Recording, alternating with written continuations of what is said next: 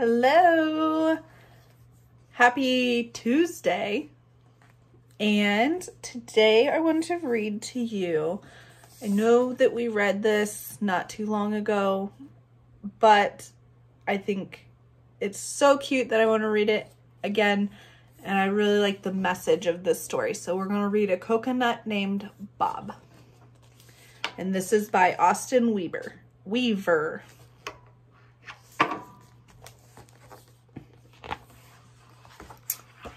A coconut named Bob. On a sun-drenched island lived a lonely little boy. He had few friends besides his dad and the fishermen on the wharf. Most of the time he worked for the fishermen, selling their catch in the market. When there were no fish to sell, he gathered coconuts, the way his father had taught him.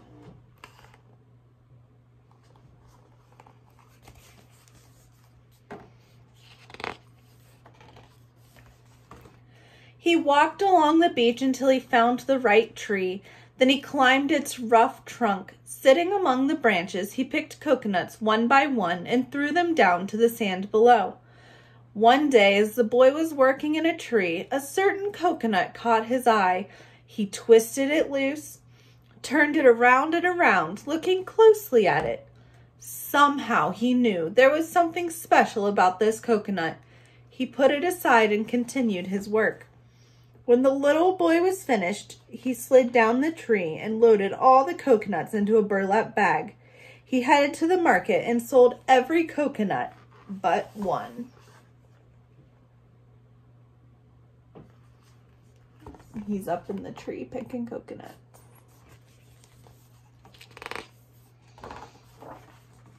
He ran home, tired but eager. Under the setting sun, he took the coconut behind his house and set it on a log. He disappeared into a weathered old shed and came out holding two cans of paint. The boy pried the lid off of the can of red paint, dipped his paintbrush into it, and gave the coconut a mouth. Next, he grabbed a can of green paint and painted two round eyes. He looked closely at the coconut's new face, and smiling, he whispered, Your name is Bob.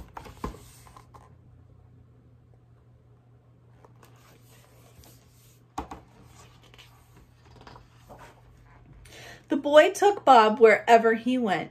When they went to the movies, Bob sat in the cup holder. When they went to the beach, Bob sat on the boy's towel and watched the boy splash in the waves.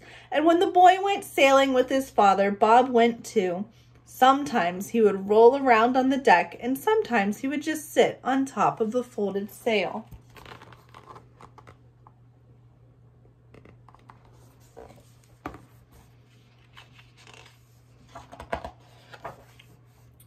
One day, while the boy and his father were sailing to a nearby island, Bob sat basking in the sun.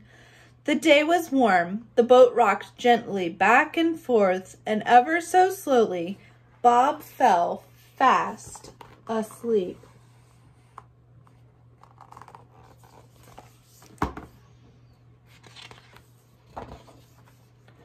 The sky grew dark with clouds, but Bob's eyes were closed and he didn't see them. The wind grew loud and frightening, but Bob didn't hear it because the boy had not painted him any ears. The boat was tossed wildly back and forth, but Bob didn't wake up. Suddenly, a wave crashed over the side and washed Bob overboard. The boy screamed and ran to the side of the boat. Fearing that the boy would jump in after his friend, his father caught him and held him tight. The boy cried and cried while his father held him close. The angry sea tossed Bob into the troughs and over the crests of the waves and carried him farther and farther away from his boy. It was a long night and Bob was terrified. After a while, the rain stopped and the wind died down. A drop of water rolled down Bob's face. It wasn't the cold sea water, it was a tear. The boy was gone and Bob was alone.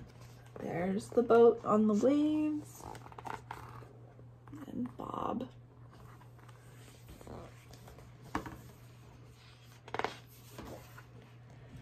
Next morning, the boy got up, dried tears on his face.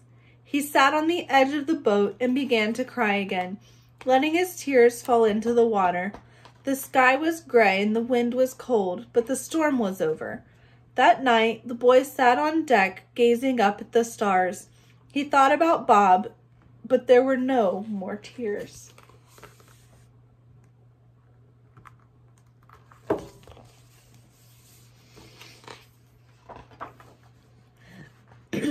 Bob floated on the sea for many days. One afternoon, when the sun was high, an island the size of a pea appeared on the horizon. By the time the sun was setting, it was the size of a pancake. By the next morning, Bob was resting on the island's beautiful sandy beach. He didn't know how to feel. His boy was lost, he was alone on a strange island, and something green was growing out of him. Bob didn't know it, but he was becoming a tree.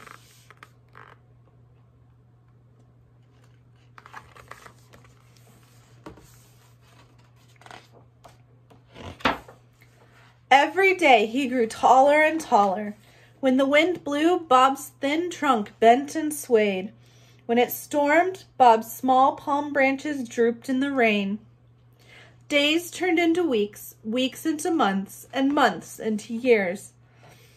Bob became a proud figure of a tree.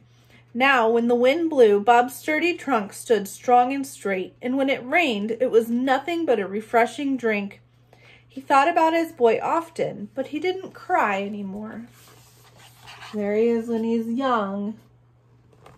there he is grown up.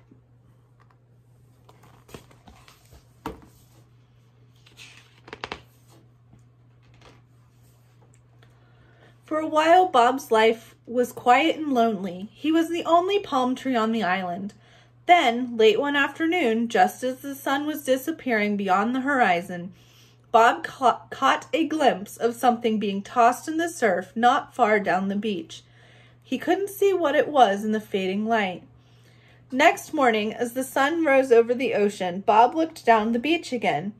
If he had been a boy instead of a palm tree, he would have jumped for joy. A coconut was resting in the sand. Years flew by like the wind. Bob was a happy tree. More coconuts floated to the island and grew into neighboring trees. He looked forward to seeing them every morning. During the day, Bob loved to watch dolphins play in the shallows and little crabs scurry across the sand. Bob's life was a good one, but even after all the years, he still wished his boy could be a part of it. One bright, sunshiny day, Bob was watching the crabs and dolphins when he happened to glance out over the ocean. He saw seagulls diving for fish, and further away, something else. Almost not believing his eyes, Bob blinked and looked again. There, on the horizon, was a sailboat the size of a pea. By evening, it was the size of a pancake, and in the morning, Bob saw a beautiful little boat anchored right off his sandy beach. So there he is with the coconut that landed on the beach, and there they are watching the dolphins.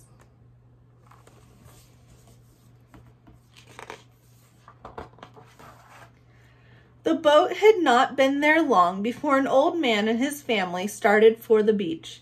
When they reached the island, the old man's grandchildren chased each other across the sand while the adults set out a picnic blanket and lunch. One of the boys ran over to Bob and looked up at his branches full of coconuts. He climbed Bob's trunk and began picking coconuts. The boy had only been in the tree a short time when a certain coconut caught his eye. He twisted it loose, turned it round and around, looking closely at it. He put it aside and continued his work.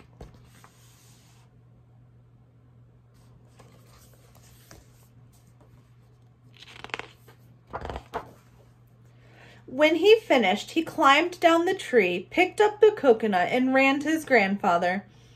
Look, Granddad, there's something special about this coconut.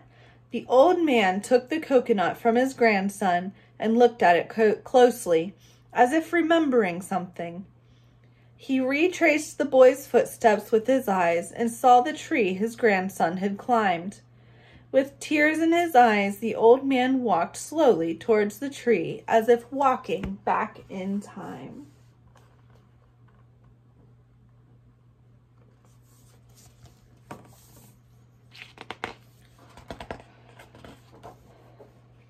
For a while he stood quietly looking up into its branches, thinking of years gone by. Then a smile spread across his face, and he gently reached out and touched the tree. Smiling, he whispered, Hello, Bob. How have you been?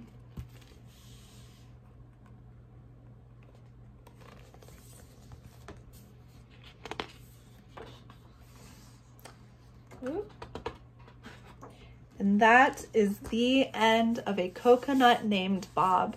I really, really love this book. I first of all I love the illustrations, but I also love the story because even though they weren't together all of those years, they still remained friends and they thought about each other all the time. And when they got back together, it was like nothing had changed.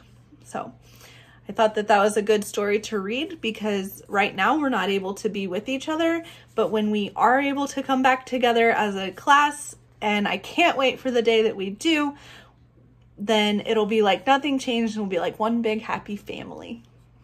Bye!